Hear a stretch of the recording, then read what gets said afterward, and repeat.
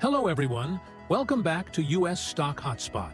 Today, we're analyzing two highly watched tech companies, AMD and Nvidia. We'll discuss their recent performance, investment analysis, and my personal investment strategy and views. In recent days, AMD's stock has been steadily rising, mainly driven by the announcement of its acquisition of privately held ZT Systems. This company is valued at $4.9 billion and is expected to complete the acquisition in the first half of next year, pending regulatory approval. ZT Systems has extensive experience in cloud computing and AI infrastructure design, and it will become part of AMD's data center solutions. This acquisition is seen as a strategic move by AMD to challenge NVIDIA in the AI processor field, with annual sales exceeding $10 billion. In comparison, AMD's revenue for fiscal year 2023 was $22.7 billion, so this acquisition will significantly boost AMD's revenue.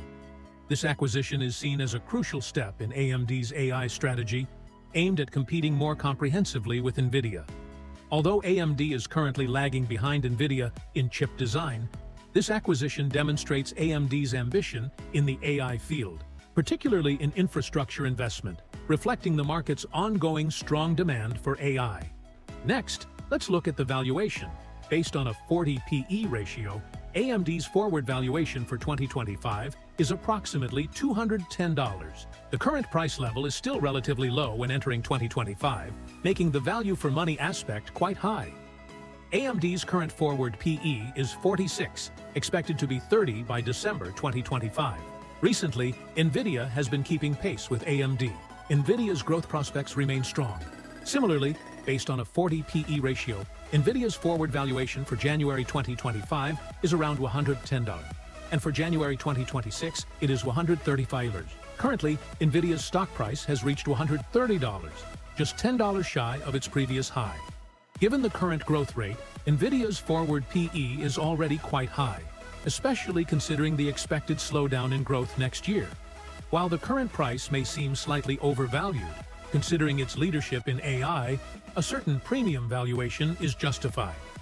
Overall, in terms of value for money and future growth potential, AMD indeed appears more attractive than NVIDIA, especially after entering 2025. Although NVIDIA has a slight edge in its five-year growth rate, AMD offers better investment value at the current price. My personal view is to take a long-term holding strategy with NVIDIA, while remaining flexible for short-term opportunities.